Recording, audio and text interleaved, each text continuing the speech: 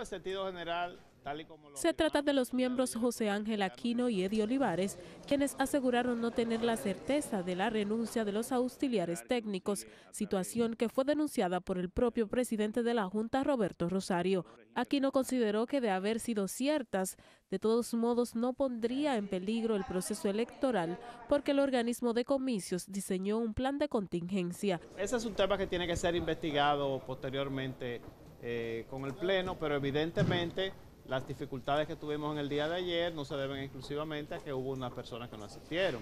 Porque había lugares donde habían las personas, habían los equipos y los equipos no funcionaron bien. O sea, tenemos que ser objetivos también y ser autocríticos, reconocer las cosas como son. Similar parecer tiene Olivares, quien aclaró que los auxiliares técnicos no podrían ser sancionados por renunciar debido a que la ley no lo establece. Olivares también informó que el caso debe ser conocido por el Pleno de la Junta, quien luego rendirá un informe. Eh, quienes sí pueden ser sancionados de conformidad con la ley electoral 275-97 eh, son los miembros de juntas electorales.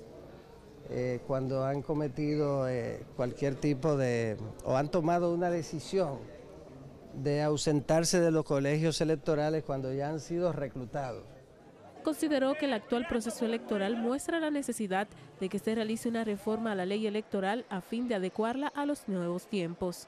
De su lado, la también miembro de la Junta, Rosario Graciano, informó que el pleno de ese organismo se reunirá en las próximas horas para evaluar el proceso electoral del pasado domingo. Sin embargo, calificó de exitoso el proceso electoral en el exterior, donde aseguró hubo una participación extraordinaria de los dominicanos residentes en el exterior. Bueno, ya ustedes saben todos los tropiezos que tuvo el proceso este, a nivel de los colegios electorales con las situaciones de los auxiliares técnicos, en fin, nosotros estamos, aún no hemos hecho una evaluación en el Pleno. Daniel Ibar, Informativos Teleantillas.